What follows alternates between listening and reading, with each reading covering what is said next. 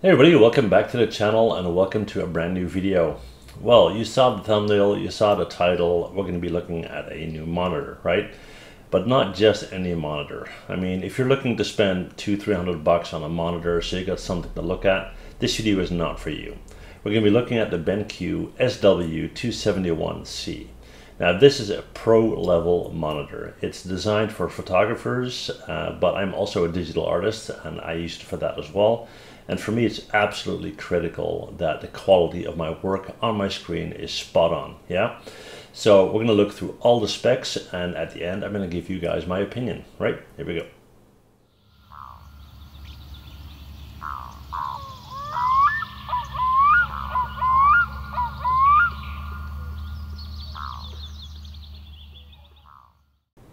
Okay, everybody, well, let's get this review on the road.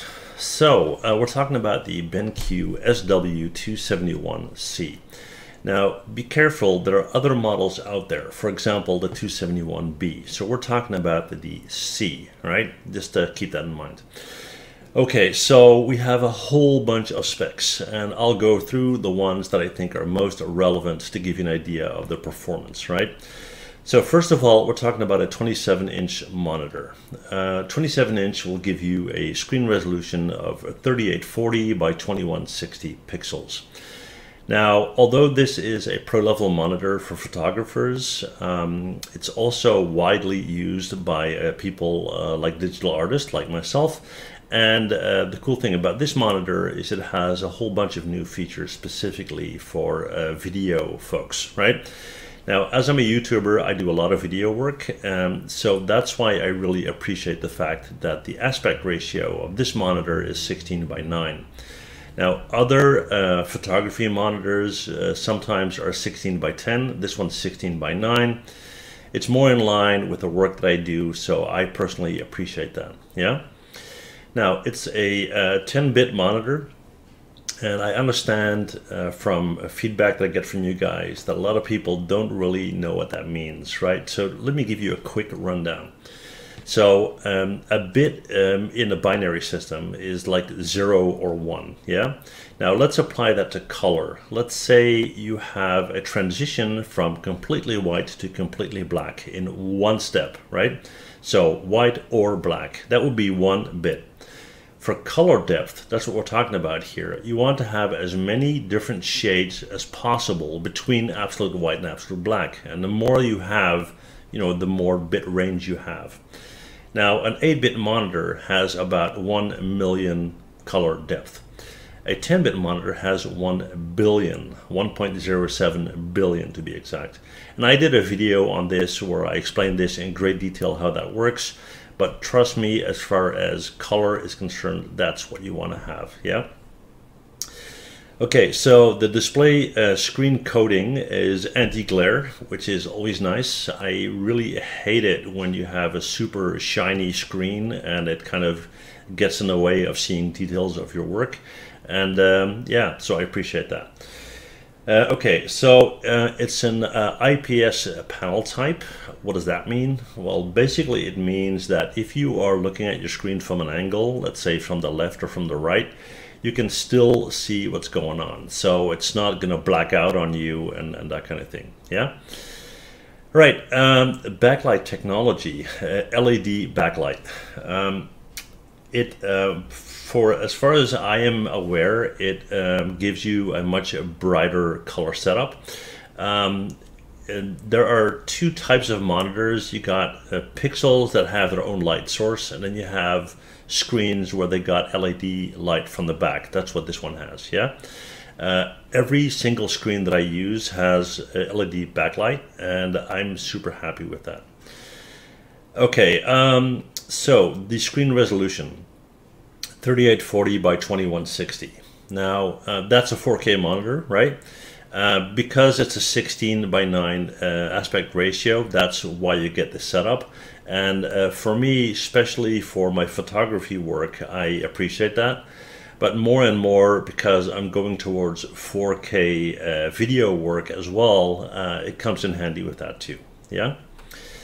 Right, so uh, I got some specs here on viewing angles and so forth. I will put a link below to the full technical specs because I don't want it to be uh, super, super complicated scientific stuff and so forth.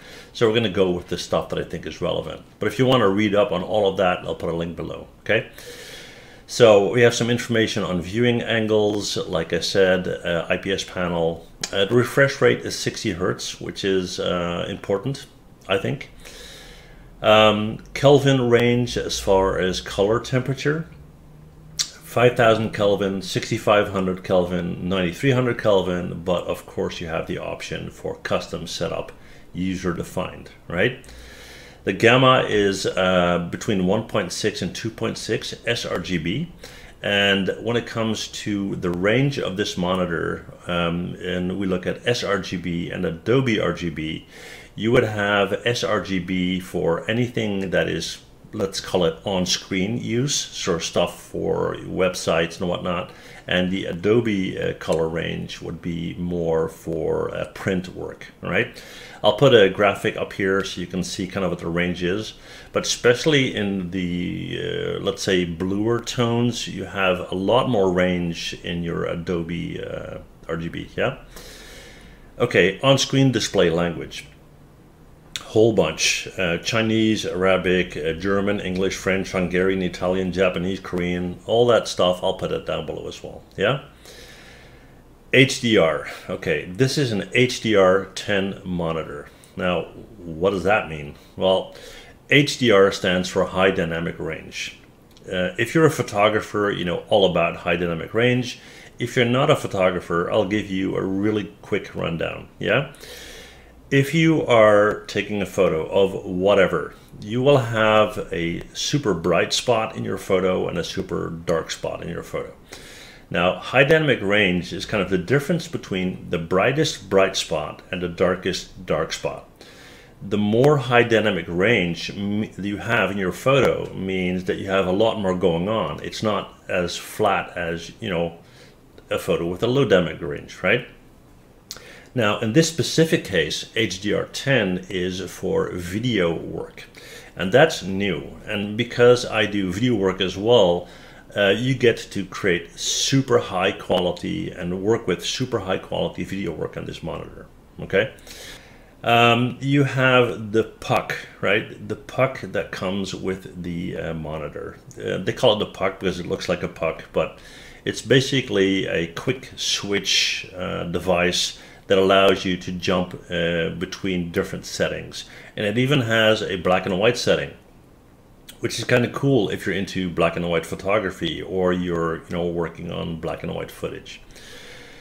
Let's see what else. Um, okay, so um, power consumption, I'll put a label up here. Uh, power delivery, USB-C and Thunderbolt 3, which is kind of cool, I think. Uh, dimensions, okay, well, first of all, and I got a couple of photos of this, you can tilt the monitor up and down, right? You can swivel it left and right, and you can pivot it. The swivel is 45 degrees, the pivot is even 90 degrees. Um, you have the height adjustment stand, so you can put it way up high or pretty low, depending on your needs. The uh, weight, uh, including the shading hood, is 12 kilograms, so that's quite a bit. It's not some flimsy, cheesy, uh, lightweight thing. It's it has really a lot of body to it. Yeah. Okay, what else? Um, the exact dimensions. Um, all right, so uh, I'm just checking here what we're talking about uh, millimeters and inches. Okay, so in millimeters, uh, the highest point would be 618 millimeters, 618.7 times 647 times 285.3. And the lowest, in the lowest position, would be 503, and then 647 and 285 would be the same. In inches, uh, 24.8 on the highest point and 19.8 on the lowest point if you put it all the way down. Yeah.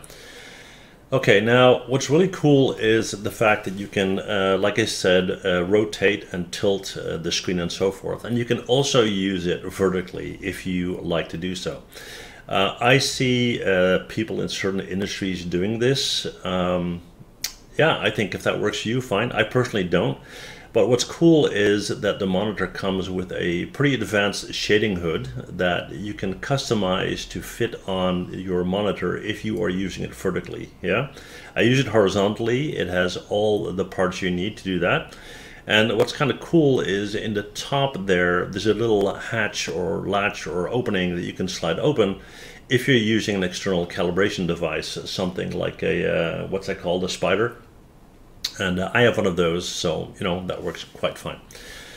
Okay, what kind of uh, connectivity do we have? We have two HDMI ports, uh, 2.0.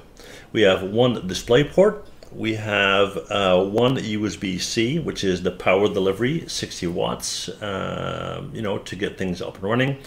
You have an USB uh, Type B for upstream and USB 3.1, two of them for downstream. It comes with a card reader, SD, SDHC, SDXC, and MMC. And when it comes to certification, uh, which is kind of cool, is it comes with a uh, calibration report that is individual and specific for the monitor that you receive. And uh, here's a picture of it. And uh, certification-wise, it's uh, Calman certified and it's Pantone validated, right? Good to know. All right, uh, what else? Uh, video format support, yes. Uh, Gamut Duo. Now, Gamut Duo is kind of interesting. Um, what that basically is, is you can compare sRGB for website use uh, compared to the same image for Adobe RGB. Uh, so let's say you have an image you want to use on your website and you also want to print it out you can have the sRGB for the website next to the Adobe RGB for your print, and you can compare them, okay? Okay, and then one thing that I think is certainly worth mentioning is AQ color. Now, I don't know if it's pronounced that way. I heard somebody say Aqualer or something, but AQ color anyway. Uh, it is uh, BenQ software and it's proprietary. And what it does is it keeps colors accurate, you know, so that the screen looks like your print, right? Kind of important. I mean, for me, I do client work where there are a lot of logos involved and whatnot. And if you have it look one way on your screen, another way on a print, that's a big no-no, right? So looking at the pricing level of this monitor, it's close to about, I would say, $1,600, uh, you know, at this point in time. I think for what you're getting for it, it's a fair price point. I mean, um, it's not your, like I said in the beginning, not your typical $300 monitor. So you have something to look at. It has a lot of features that will help me to do my job. Uh, for me, it's my livelihood. It has to be good. It has to be consistent. And uh, it is. Um, no surprise there. I've been using BenQ monitors for many, many years. I did uh, quite a few reviews on them, and this is one that fits in that series for sure. So for me, the monitor, and I've been using it now for a couple of days. So far, I would say two thumbs up. Um, is BenQ paying me to say that? No, they are not. Um, it is my personal honest review. I stand by it. If I didn't, I wouldn't be making videos on it. Okay? So, yeah, uh, a positive review uh, as far as I'm concerned. Um, if you have any questions about the monitor, uh, feel free to send me an email and I'll be happy to answer them if I can. Okay? Thank you guys so much for checking out the video. Uh, hope you get to enjoy your new BenQ monitor if you decide to get one. That said, if you enjoyed the video, hit that sub button. Thanks for watching and see you guys next time. Bye.